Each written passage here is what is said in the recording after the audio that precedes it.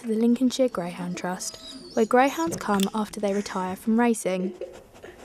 With greyhounds unable to race past five years old, rehoming them can sometimes be a problem.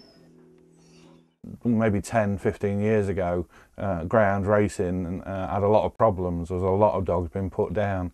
Uh, there still are, it's not perfect, nothing in life is perfect. Uh, but to be honest, more and more racing owners and trainers do take care, do come to people like us because they trust us to find them good homes as pets, better homes than they could find perhaps.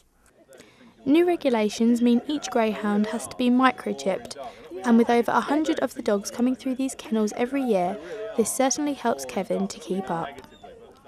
I'm here with Oscar, and believe it or not, he's only four years old, but he's already finished his racing career in Sheffield. He came here over a month ago to be rehomed, and he's still looking for someone to take him.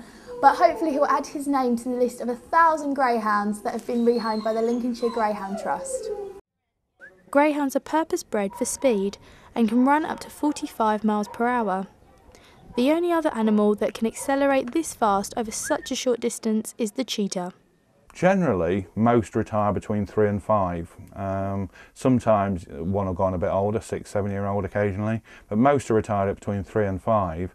Uh, if they retire even at five, that generally we say 12 to 14 is what they live to. A five-year-old who, who comes to us, we get them ready for rehoming. They could be, you know, in a home at five years old, uh, live to 12. That's seven years of somebody's, you know, their life and things. Uh, if they live to 14, it's nine years. So there is, you know, a long time ahead of them. Uh, they're not an old dog when they come to us, uh, and so they've got a long time and a, and a great life to lead as a pet. Uh, and it's just, it's just finding the right homes for them.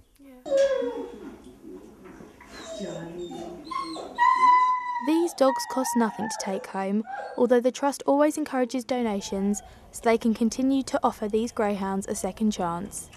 Ellen Green, LSJ News.